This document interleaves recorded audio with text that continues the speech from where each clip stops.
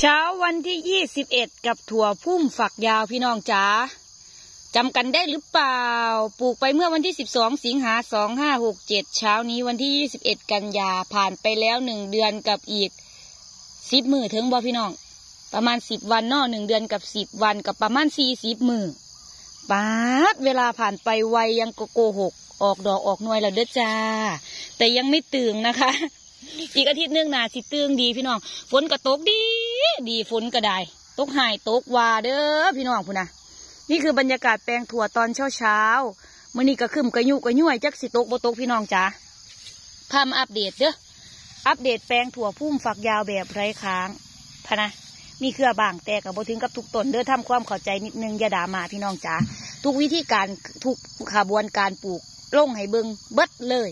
สงสัยมองใดคอมเมนต์สอบถามได้พี่น้องจ๋า สำหรับพี่น้องที่ไปสั่งจากทางอื่นมาละกามาโทรมาคอนเซาโทรมาคอนเซาบ่เมนว่ามาอธิบายได้ โทรมาหายแม่ค่ะบ่ได้เด้อแบบนี้พี่น้องจ๋าไม่ได้นะคะ อธิบายไว้ก่อนว่าอย่าอารมณ์รุนแรงบุย